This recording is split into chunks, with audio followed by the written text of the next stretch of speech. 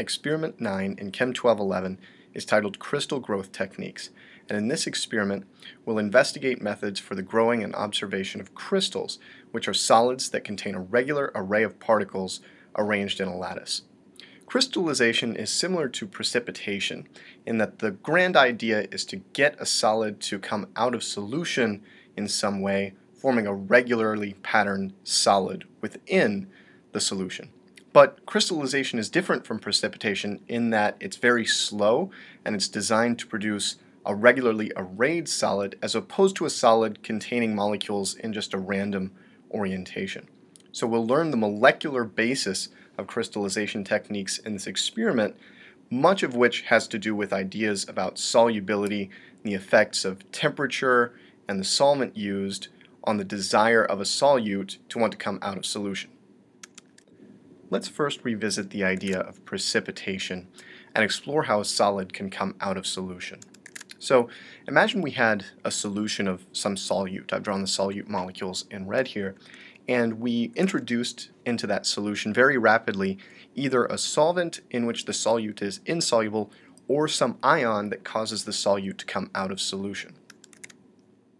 Very rapidly we would see solid form at the bottom of the beaker and if we managed to remove all of the solute, there would be no solute molecules left in the liquid. At the molecular level, because this process happened so rapidly, the molecules didn't really have time to align themselves in a regular orientation. And so the arrangement of molecules we would see would be random, and the solid in this case would be what we called amorphous. It would either be a completely amorphous solid or it would be composed of very small crystals in a powder-like form.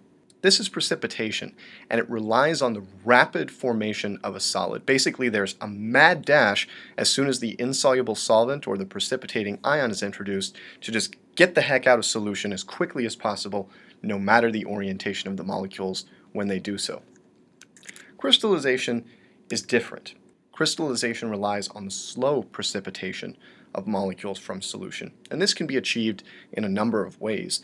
The basic idea, the initial idea for crystallization, is to convince a very small number of molecules to want to precipitate from solution. So the idea is not to cause a mad dash out of solution like we do if we drown the solution in, say, a precipitating ion, but to just convince a few molecules to get out of solution. This causes, via a very slow process, what we call the nucleation of a very small crystal. So the red square that you see in the bottom of the solution is a very small crystal forming from this small number of molecules who want to get out of solution given the conditions that we've set up. And we'll talk about those conditions specifically in more detail in a little bit. Over time, more molecules are induced to join that growing or nucleating crystal. And over time, again, over a very long time, we deliberately set this up to take a long time, a crystal forms. So we rely on the favorable thermodynamics of this regular lattice of atoms or molecules that gets set up when crystallization occurs so that over time, over a very long time, the thermodynamically most stable thing for the molecules to do is get together and form a regular lattice. So at the molecular level now, because we induce the precipitation process to occur very slowly and over a long time, we have a regular array of atoms or molecules at the molecular level and what's called a crystalline solid. Crystalline solids are great, and they are absolutely essential to the study and advancement of chemistry. This is for a number of reasons. First of all, they're regular, so they're relatively easy to understand at the molecular level, and we don't have the issue of randomness coming in when we try to kind of project from the molecular level to the macroscopic level. In fact, you can infer molecular properties from macroscopic measurements of some types of crystals. The second thing we gain is predictability. We can predict the properties of a crystal because we know what it looks like over a very, very long range. We essentially can characterize the crystal over the entirety of its structure. The thing we're most often interested in predicting is the molecular structure of the components of the crystal. So this is used to characterize newly synthesized organic compounds and proteins whose structures are otherwise unknown. We can rely on X-ray crystallography, but a prerequisite to that is having a crystal of the adequate size and order that allows us to interpret the diffraction patterns to work backwards toward the structure. Apply three specific methods for growing crystals in this experiment. The first is called slow cooling, and it's one of the most common methods in use. It relies on the very general relationship between the solubility of a solid in a liquid solvent and temperature. In the majority of cases, the solubility of a solid increases with temperature. And we can trace this to the thermodynamics of the situation. So the free energy change, the delta G of solvation, is equal to delta H minus T delta S. And for most solids, delta S is greater than zero. This means that as we increase the temperature, the delta G goes down and the process becomes more thermodynamically favorable as we raise the temperature. The basic idea of a slow cooling experiment is to actually move down and to the left along this curve slowly, facilitating sort of what I call micro precipitations or crystallizations from the solution. So let's zoom in on this solubility versus temperature curve and see what we mean by this. So imagine we had two points on this curve, which are pretty typical for a slow cooling experiment. One is 293 Kelvin, that's room temperature, and the other is 353 Kelvin, which is our elevated temperature. So we take a solvent and we dissolve the solute in the solvent at 353 Kelvin as much as possible. We create a saturated solution so that we're on this curve, we're at the maximum solubility at 353 Kelvin. And then we allow it to cool slowly. That corresponds to moving a little bit to the left, lowering the temperature ever so slightly. That's going to lower the solubility ever so slightly, which means that as soon as we've moved a little bit to the left in temperature, there's more solute within the solution than it's able to handle. So what will happen is what we can think of as a microprecipitation event. A few of those solute molecules will be saying, hey, I want to get out of solution. And they will. As the solution continues to cool slowly, this will happen again and again and again.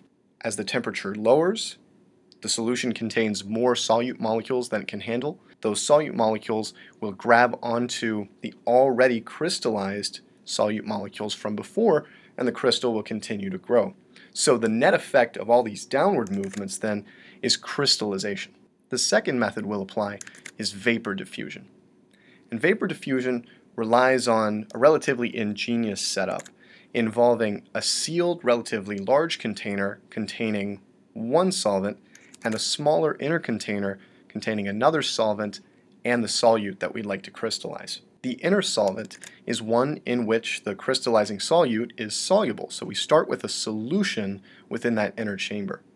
The solute is insoluble in the outer solvent, and that's key. So we have what we'll call the soluble solvent in the inner chamber and the insoluble solvent in the outer chamber. Now, over many, many hours and through the magic of spontaneous evaporation of the two solvents, the solvents will mix over time. And when it's all said and done, we'll end up with a mixture of both types of solvents within both chambers. Notice that the inner container is open, so solvent is able to condense and evaporate from that inner container. On the outside, we have now a mixture of the soluble and insoluble solvents, but more importantly, on the inside, in the inner chamber, we also have a mixture of the soluble and insoluble solvents. And if the solute is insoluble in this mixture, specifically if enough of the insoluble solvent gets in there, if it's volatile enough and the solute is insoluble, then we'll see a crystal. Then crystals will form. Now the proper choice of the soluble and insoluble solvents here is critical. So before we undertake this vapor diffusion experiment, we'll do solubility tests using the solute and a series of candidate solvents to determine which ones would be best to use in this case. Just remember that we need one solvent in which the solute is soluble and one in which it's insoluble. Finally, we'll apply the technique of reactant diffusion to form crystals. And reactant diffusion, as its name suggests, is based on a chemical reaction. A reaction in which the reactants are soluble in a solvent and the product is insoluble in that solvent. The idea, more or less, is to let the reactants mingle with each other very slowly via diffusion, allowing the product to form very slowly and crystals of the product to thus grow as the reactants find each other. So this diagram does a nice job of illustrating the situation. We've got the blue reactant A mostly on the left, the red reactant B mostly on the right, and we allow them to spontaneously move towards each other via diffusion, and where they meet in the middle, we get a very small number of product molecules forming product C. Those small molecules will form crystals and grow towards one another as the reaction occurs. This method, at least in our case, is relatively fast. The reactants will be metal salts and dissolved silicate, and the products will be insoluble metal silicates.